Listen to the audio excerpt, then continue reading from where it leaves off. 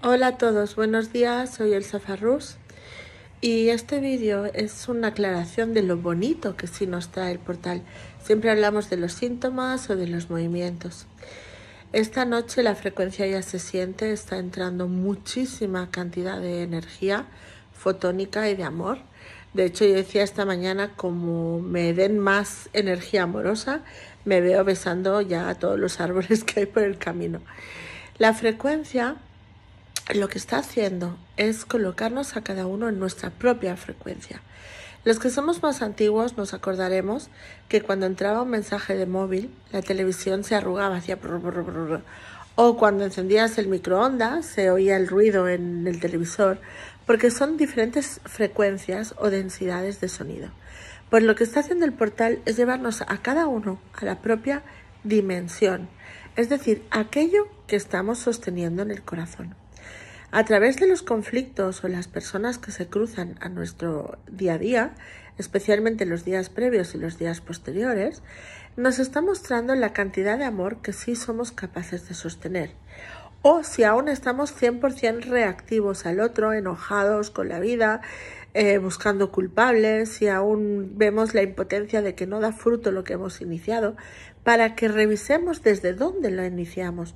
A veces no se trata de abandonar lo que estamos haciendo, sino de comprender si lo empezamos por ira, por venganza, por huida de la responsabilidad hacia algo.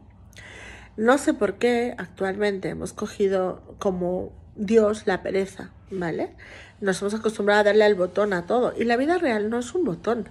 En la vida real hay enfermedades, en la vida real hay conflictos, en la vida real hay que tomar decisiones que a veces nos duelen, hay que abandonar cosas porque no ya no son camino. Entonces todo eso nos está generando una ira sobre todo después del proceso de 2020, en que la gente ha sacado un instinto de, de, supervivencia que no es capaz ni siquiera de estar de vacaciones sin gritarle a sus propios hijos.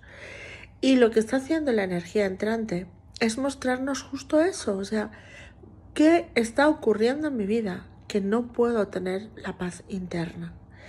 La paz interna es la conexión con el alma, es el diálogo real, es la capacidad de ver dónde sí eres útil o no. Por ejemplo, yo tengo algunos regalos divinos, soy capaz de, de generar muchas estructuras, de enlazar cosas, de generar proyectos, pero tengo una dificultad, que son los números y pasar cuentas, lo paso fatal con la dislexia. Y eso me genera mucha ira. Pues eso es tomar la conciencia de que yo ahí no soy bueno y delegar o compartir eso con las personas que sí tienen ese don. Eso es lo que nos está mostrando el portal. Dónde pertenezco y dónde no pertenezco. Dónde puedo aportar más a la humanidad.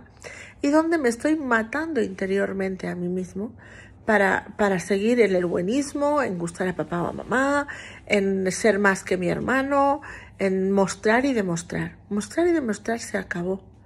Es la presencia del ser, y mucha gente me dice, bueno, pero es que lo que funcionaba no funcionará. No, es que no, es un antes y un después.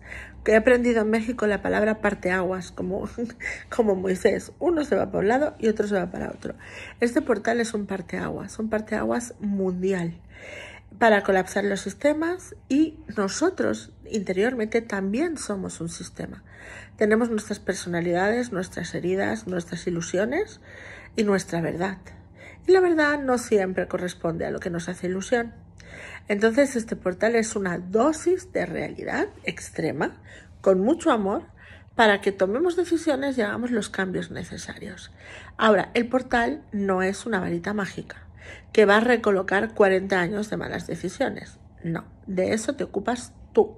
Te muestra lo que hay, pero el libre albedrío te pertenece a ti. Y el libre albedrío es elegir sin condicionamientos, elegir aquello que con los años te va a dar paz. Puede que te equivoques o no al elegir, claro que nos equivocamos, todos nos equivocamos y mucho. Pero son aprendizajes, no hay errores. Aprendes que ese no es camino y vuelves a elegir. Por lo tanto, el portal no te va a dejar excusar en otros, no te va a dejar culpar a otros y lo que te lleva a la rabia de tu pareja, de tu hijo y de tu entorno es tu rabia porque quieres desde una muy fuerte soberbia inconsciente o consciente que las cosas sean como tú quieres que sean. Y eso es de principitos y princesitas. Y ya no toca, toca ser adulto, toca ser responsable de la propia energía y toca ser responsable de uno mismo. Y sobre todo, mucha energía de gozo, mucha energía de amor, mucha energía de gratitud. Si no estamos en esas tres energías es porque hay que revisar la base. Porque es una maravilla descansar bien por la noche. Es una maravilla levantarse y ver los árboles. Es una maravilla estar vivo, nuestro organismo, cómo funciona, cómo se regenera. Si no somos capaces de verlo, es porque estamos en un bucle emocional, del cual debemos aprender algo para poder salir de él. Y eso se va a intensificar.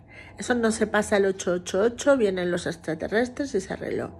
Eso va a ir a más en creciendo de aquí en adelante, hasta los tiempos de los tiempos, porque a más amor más reconocimiento de tu corazón que quiere esa frecuencia y más te muestra lo que le impide esa frecuencia.